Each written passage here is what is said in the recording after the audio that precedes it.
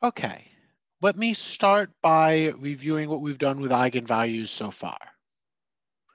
So if we have an n by n square matrix, we know how to compute the eigenvalues and the eigenvectors of A. The way we compute the eigenvalues is that we compute the characteristic polynomial, and we find the roots of the characteristic polynomial, and those are the eigenvalues. And then for each one of those eigenvalues, we compute the kernel of A minus lambda identity. Kernel is the lambda eigenspace, and the vectors in the lambda eigenspace are the lambda eigenvectors. And we've learned that life is particularly good if A has an eigenbasis, because then we can diagonalize A. And an eigenbasis, let me remind you, means a basis of eigenvectors. So before I say anything more, I want to just put up some examples of different things that can happen when we carry out this algorithm. And these will be examples where sometimes we'll see that we do get an eigenbasis and sometimes we don't. And let's see different ways that this can happen. So the simplest thing that can happen is that our characteristic polynomial can have n distinct roots. So here is some matrix, 4, 1, negative 2, uh, sorry, 4, 1, negative 2, 1. The characteristic polynomial, we take the product of the diagonal terms. That's over here. And we take the product of the off diagonal terms. That's over here. And, and here's what we get when we do the computation. And this polynomial turns out to factor as a product of two linear factors, t minus 2 times t minus 3. So what this computation shows us is that this matrix has eigenvalues 2 and 3.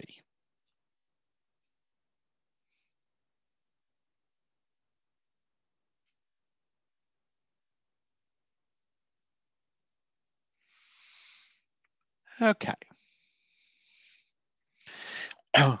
and then if we don't just want the eigenvalues, but we also want the eigenvectors, we, for each of those two eigenvalues, two and three, we compute the kernel of A minus lambda identity. And here it is. Each of them has a one-dimensional kernel spanned by one vector. And so we get that 1 minus 2 is a basis for the 2 eigenspace.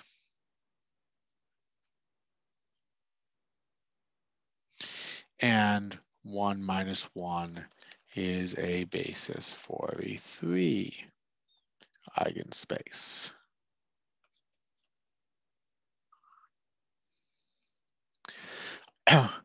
okay, so this is a sort of computation you hopefully have been doing in your homework and doing in your sections and are getting used to doing.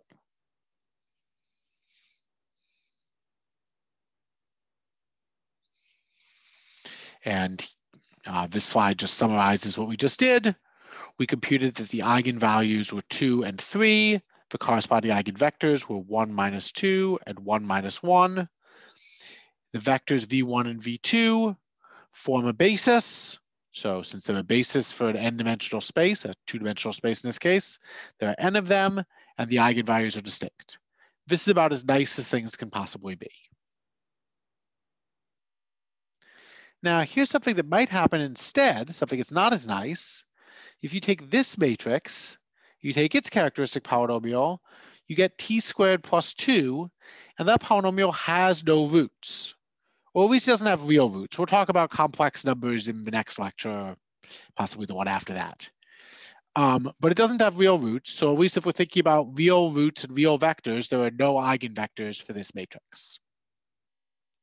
Here's another thing that can happen The characteristic power polynomial can have repeated roots. And here are two different examples.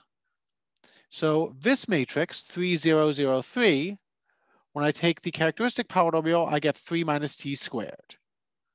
This matrix is almost, B is almost the same, except it has a 1 in the upper right instead of a 0. And its characteristic polynomial is also 3 minus t squared. So they have the exact same characteristic polynomial. And so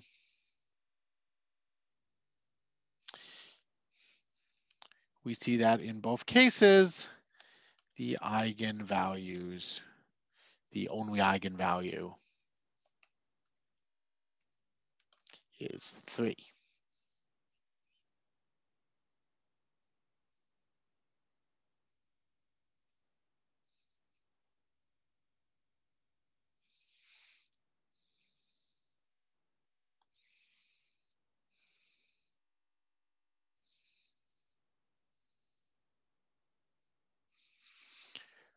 And then when we compute the eigenspaces,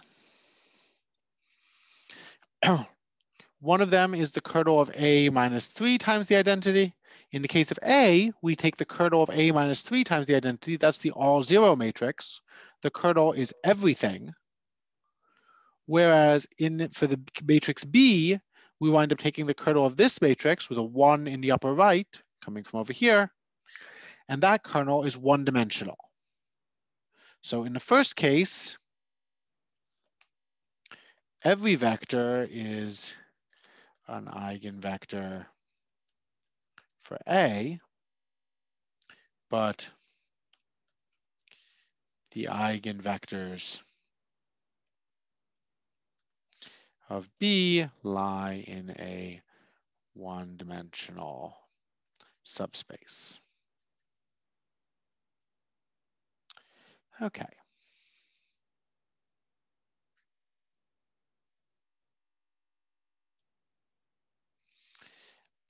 And so A and B have the exact same characteristic polynomial, 3 minus t squared. But A has an eigenbasis. Again, every vector is an eigenvector for A, and B doesn't. All the eigenvectors of B lie in a one-dimensional subspace. So we see that in this case, where there are repeated roots, it's not clear whether there's going to be an eigenbasis or not. And looking at the characteristic polynomial doesn't tell you. Okay, so we want to talk about this sort of situation more generally. And in order to do that, we're going to introduce some vocabulary words. So let A be a square matrix, let lambda be a scalar. The geometric multiplicity of lambda is the dimension of the lambda eigenspace. So the kernel of A minus lambda identity. So this is the thing that we computed to be E2 for the matrix where everything was an eigenvector and one when all the eigenvectors just lay on a line. And the algebraic multiplicity of lambda is the number of times the factor lambda minus t occurs when we factor the characteristic polynomial. So going back to this example, the uh, geometric multiplicity of the eigenvalue 3 is 1 for this matrix B, but the but it is 2 for this matrix A, because in the first case, the 3 eigenspace was one-dimensional, and in the second case, the 3 eigenspace was two-dimensional. On the other hand, and both of them had the same characteristic polynomial, so the algebraic multiplicity is two both times. Okay. So using this vocabulary, we're going to prove a bunch of theorems, and these theorems will tell us sort of what can happen with these different concepts, and in particular, when we do and don't have an eigenbasis. So let A be an n by n square matrix with eigenvalues lambda 1, lambda 2, dot, dot, dot, lambda k. Let AI be the algebraic multiplicity of lambda i. Let VI be the lambda i eigenspace. So let GI be the dimension of the lambda i eigenspace. So GI is the geometric multiplicity. And here's the first claim. The, here's the first theorem. The first theorem is we have an eigenbasis exactly if the GIs sum up to n. So in some sense, that's an answer to when we have an eigenbasis. If you compute all these dimensions and they add up to the size of your matrix, that's an eigenbasis. Now, this is an answer which involves computing all those eigenspaces. It'd be nicer to have an answer of just algebraic multiplicities in it because that comes from the characteristic polynomial. we can't really do that, but we could definitely say some things about algebraic multiplicities and having an eigenbasis. So here's one thing to say. Each GI is less than or equal to the corresponding AI. So once you've computed the characteristic polynomial, you have an upper bound for how big the eigenspace could be. We don't know whether that upper bound actually works or not. So in this example, both of these matrices have algebraic multiplicity 2 uh, for the eigenvalue 3. But in one case, the geometric multiplicity is 2, matching a bound, and the other case it's less. And then finally, sum AI is less than or equal to n, and sum AI equals n if and only if the determinant factors completely into linear terms. So the AI isn't the same as the GI. It could be bigger, but we have a really nice description for when the sum of the AIs is n, and then the sum of the GIs is going to be less than or equal to that. Um, so we're going to have the only way to have an eigenbasis. Yeah, we go back a slide. So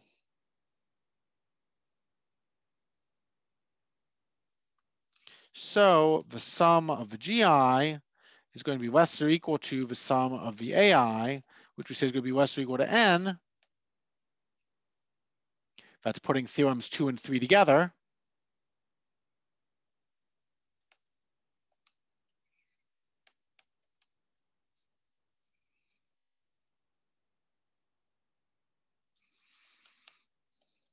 Using theorem one, we have an eigenbasis if and only if the AI are equal to the GI and the sum of the AI is n. So this is just what happens when we stick all these theorems together. Theorem three tells us sum of AI less or equal to n. Theorem two tells us the GI less or equal to the AI. Theorem one tells us sum of GI equals n if and only if we have an eigenbasis.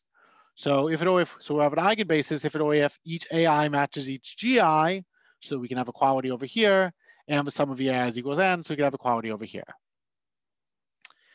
So putting it all together,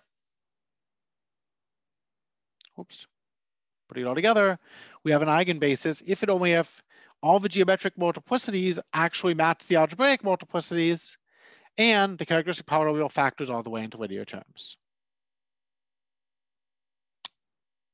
Those are our theorems. And now this is a two-parter. Pause, take a stretch break, maybe make yourself some popcorn, come back and we'll prove these theorems.